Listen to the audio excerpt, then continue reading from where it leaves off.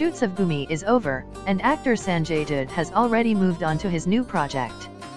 He is slaying in a royal avatar in his upcoming film The Good Maharaja.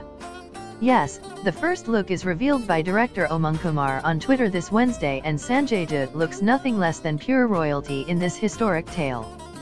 The Good Maharaja is a biopic on the life and works of Maharaja Jam Sahib Digvijaysinhji Ranjitsinhji, who was the ruler of Nawanagar during the British rule.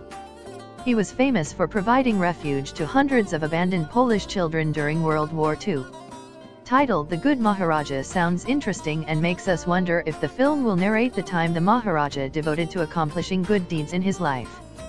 Wearing a turban loaded with ornaments, Sanjay's dress-up looks fresh and fascinating.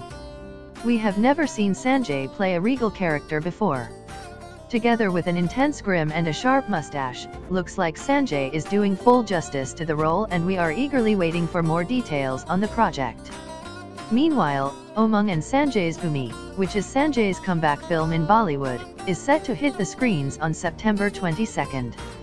Bhoomi is an emotional tale and sensitive revenge drama which explores the relationship between a father and a daughter, and also stars Adi Rao Hydari and Siddhant Gupta.